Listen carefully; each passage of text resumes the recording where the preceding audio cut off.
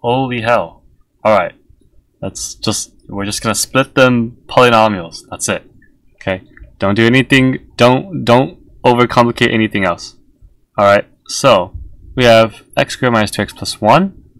What I'm gonna do is I'm just gonna simply go like this.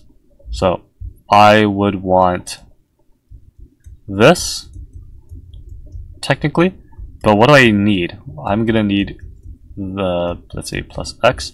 Okay, so I need to convert it in this, and then my leftover is going to be let's see, I have plus x, and I'm gonna have another x minus one.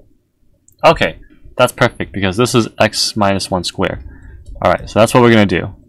So, what that means is if we split it like this in numerator, that means that I'm going to have x plus 1 over x minus 1. Okay? And so now I have x squared over 2 plus ln x minus 1, e squared plus 1, e plus 1 here. Okay.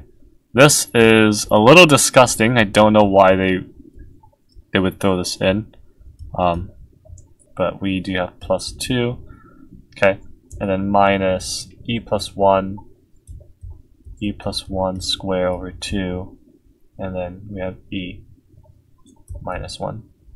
So what we have here is we have e squared plus 1 squared minus e plus 1 squared I am not simplifying this. I'm not going to risk my chance. I'm not risking getting eliminated. okay, so I'm just going to write my answer like this. Alright,